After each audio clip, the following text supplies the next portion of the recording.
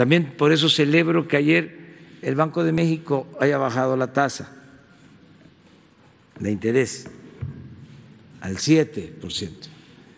Ha estado bajando la tasa de interés. Esto ayuda porque eh, hay más posibilidad para eh, la obtención de créditos, o sea, cuestan menos eh, los intereses y se impulsa más el crecimiento económico.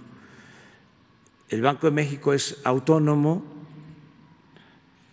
eh, a nosotros nos interesa mucho que se decida en el Banco de México con profesionalismo, eh, de manera técnica, sin eh, intervención política, por eso nuestro respeto a la autonomía del Banco de México.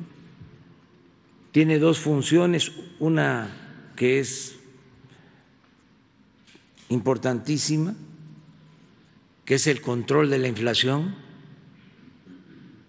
porque si no tenemos control de inflación, pues podemos estar hablando ahora de que el salario promedio y el seguro social es el más alto, pero con inflación eso es relativo.